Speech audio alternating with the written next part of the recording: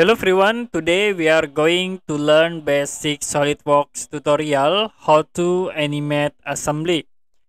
So as example I will create new assembly and you can insert for the parts. I will use this part, click open and insert into your drawing assembly area.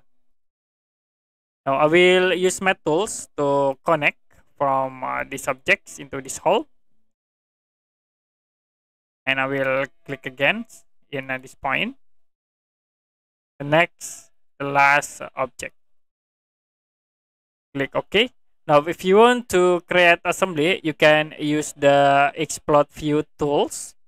Click here. And then I will select these objects. You can move to the top. Like this. We create again. So these objects move to the top and the last these objects move into here. Click ok. Now to animate you can right click in this uh, assembly name and then you can click collapse to back into star and then you can click the animate explode. So to be automatically animating the assembly. You can play again by using this animation control play.